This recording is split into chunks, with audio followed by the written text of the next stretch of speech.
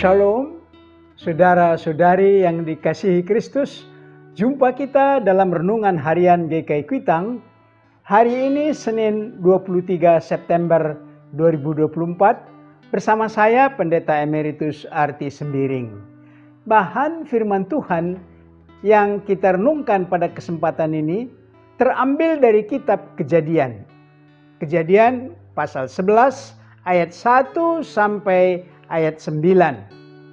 Silakan dibaca lengkap Kejadian 11 ayat 1 sampai ayat 9. Tetapi nats yang kita renungkan terambil dari ayat 9. Saya bacakan demikian firman Tuhan ini. Itulah sebabnya kota itu disebut dengan nama Babel. Karena di situlah dikacau balaukan Tuhan bahasa seluruh bumi dan dari situlah mereka diserakkan Tuhan ke seluruh bumi. Demikian firman Tuhan ini, berbahagialah kita yang mendengar firman Tuhan dan yang tekun melaksanakannya dalam kehidupan sehari-hari. Saudara-saudari, tema kita dari ayat ini berbunyi Babel. Kali ini kita mengenal Babel dalam Alkitab. Nama Babel terbaca di kitab Kejadian sampai Wahyu. Rupanya Babel sebuah kota penting dalam Alkitab. Jika ditelusuri dari Alkitab, kota Babel dengan menaranya didirikan oleh Nimrod dari keturunan Ham, anak Nuh. Kita bisa lihat kejadian 10 ayat 8. Nimrod yang penuh dengan kekerasan. Berkehendak itulah visinya yaitu agar manusia setelah air bah jangan terserak. Sebagai usahanya atau misinya dan lambang kekuasaannya Nimrod membangun kota Babel dengan menara yang puncaknya sampai ke langit. Menara itu dibangun mengerucut dan visi dan misi Nimrod ini tidak sesuai dengan visi dan misi Tuhan. Bahkan visi dan misi Nimrod ini berbahaya karena kekerasan yang terjadi. Tuhan menghendaki agar manusia memenuhi seluruh bumi.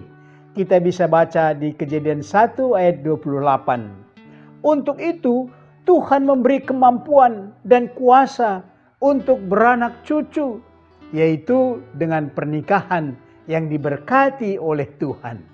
Saudara-saudari, selagi pembangunan kota dan menara yang ujungnya sampai ke langit dalam pembangunan, Tuhan melihat rencana itu yang tidak sesuai dengan kehendaknya, maka Tuhan menghentikan, menghentikan pembangunan itu dengan mengacaukan bahasa mereka sehingga tempat itu diberi nama Babel.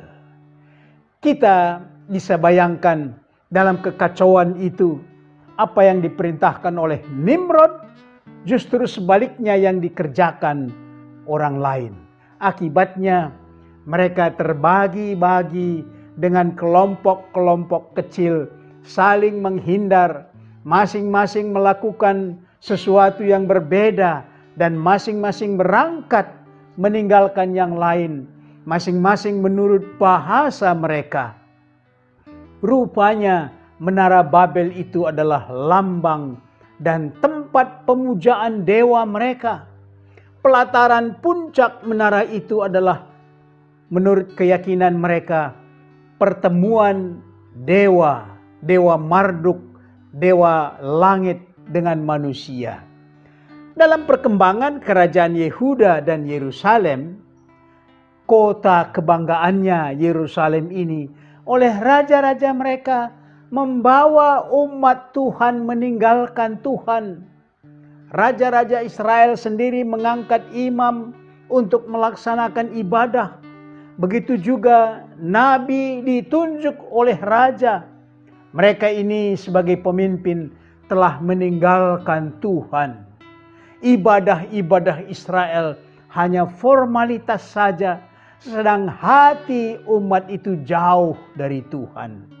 Dalam situasi Israel yang meninggalkan Tuhan, maka Tuhan memakai dan memanggil Babel untuk menghukum, menindas, dan menghancurkan Yehuda dan Yerusalem.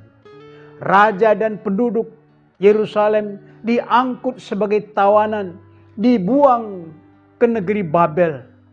Namun, karena Babel tidak percaya dan tidak mengenal Tuhan, mereka membawa nama Dewa Marduk yang memberi kemenangan, maka dalam kejayaan ini Babel dihancurkan oleh kerajaan Persia dan Media. Saudara-saudari, dari berdirinya Babel dengan menaranya telah menjadi lambang kecongkakan manusia dan kejatuhannya yang tak terhindari. Kecongkakan hati ini hanya bisa dikalahkan oleh Allah karena Allah mempunyai rencana agung yang mau dilaksanakannya. Demikian juga ke, kebebalan hati manusia diperlihatkan Israel juga dihancurkan Allah. Walau memakai Babel sebagai alat kehancuran itu untuk mendapat kembali orang yang percaya mengandalkan Tuhan yang itu nanti terlihat dari Israel yang kembali dari pembuangan, yaitu mereka yang mengandalkan Tuhan. Mari kita aplikasikan renungan ini dengan pokok berikut. Pertama, coba cari di mana letak kota Babel sekarang ini. Yang kedua, menurut Anda, hal-hal apa yang membuat seseorang berhati congkak. Yang ketiga, Anda bisa memberikan tips untuk menghilangkan kecongkakan hati. Mari berdoa. Bapa kami yang ada di sorga, sumber kehidupan, berbagai karunia kami terima yang membawa hidup kami menyenangkan. Karena itu karuniakan hikmat oleh roh kudus, sehingga kebahagiaan yang ada pada kami tidak membawa kecongkakan hati, tetapi kebahagiaan yang memuliakan Bapa. Inilah doa kami dalam nama Yesus Kristus. Amin.